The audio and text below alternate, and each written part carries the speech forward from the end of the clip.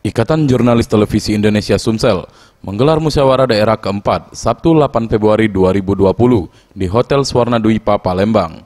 Acara ini dihadiri oleh asisten 3 Pemprov Sumsel Edward Juliarta serta Ketua Umum IJTI Yadi Hendriana dan seluruh anggota IJTI Sumsel.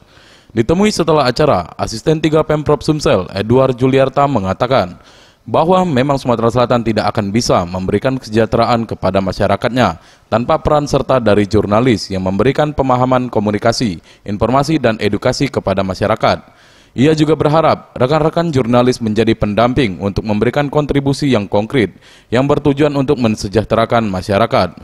Intinya kita bukan hanya bicara soal apa peran serta jurnalis, apa peran serta pemerintah, tidak dipisahkan seperti itu, tetapi tentu kolaborasi semua pihak dari kepolisian, dari Kumham, dari masyarakat, dari jurnalis ini yang, yang kita dorong sebenarnya. Demikian.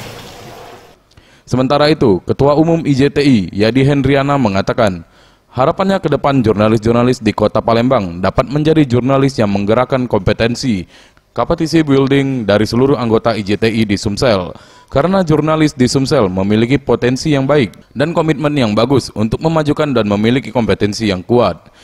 Hari ini mungkin output dari kegiatan. Ya saya lihat bahwa ini adalah musyawarah daerah kemudian akan menghasilkan uh, apa namanya uh, ke kepengurusan yang nantinya ke depan akan membangun ikatan jurnalis Indonesia dan saya berharap nanti ke depannya itu uh, jurnalis-jurnalis di Sumatera Selatan di Palembang pada khususnya menjadi jurnalis-jurnalis yang bisa menggerakkan uh, kompetensi dan capacity building dari teman-teman di Ikatan Jurnalis Televisi Indonesia di Sumatera Selatan. Tim Liputan Sriwijaya TV